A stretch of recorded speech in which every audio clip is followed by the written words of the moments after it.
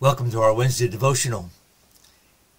Sometimes people watch this um, later on on Wednesday and sometimes on another day, but this is designed to be a Wednesday midweek devotional thought.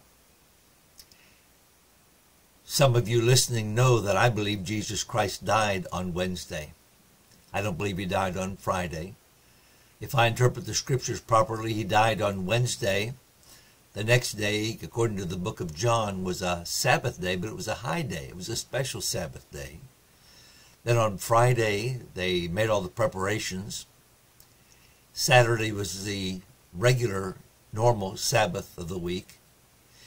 And then Sunday, he arose. So you have Wednesday night and Thursday as one day, Thursday night and Friday as another day, Friday night and Saturday as another day because the Jewish day began at the evening, began at dusk. So whether you believe he died on Friday or Thursday or Wednesday, I want us today to remember that he died. Remember that Jesus Christ literally died. He was crucified. Those that want to say he only swooned and he revived when he was placed in the cool tomb cannot legitimately make that case. He died. He was almost dead when he carried his cross, dragged his cross, couldn't even get it up the hill. And then he hung there for hours and hours. And then when it was time to die, he gave up the ghost.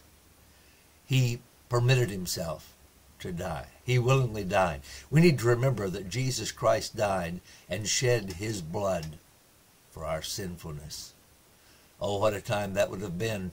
Remember next the three days of despair. Can you imagine the despair of the disciples? They'd been with him for over three years. They had followed him. They had trusted in him. They had believed in him. They thought he was the Messiah. And then he died. He was crucified.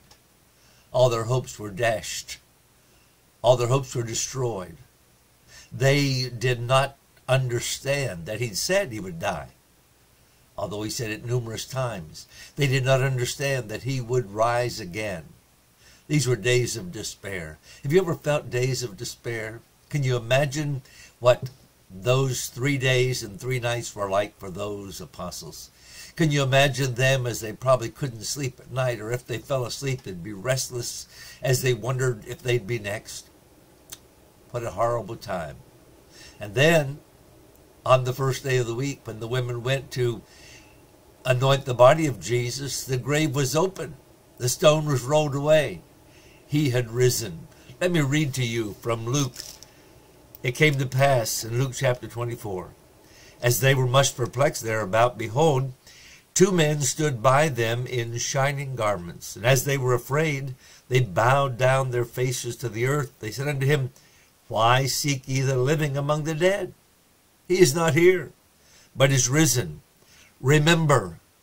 And they began to say, Remember how he spake to you when he was yet in Galilee, saying, The Son of Man must be delivered into the hands of sinful man, be crucified, and the third day rise again. And they remembered his words. Today I want us to remember these things. Remember that he died. It was for you and for me. Remember the despair of the apostles. And then remember the disbelief first and then the delight of the apostles when they realized he had risen. He'd risen from the dead. We serve a risen Savior. Praise God. No other religion can say that. Thank God we serve a risen Savior. Have a wonderful, blessed day.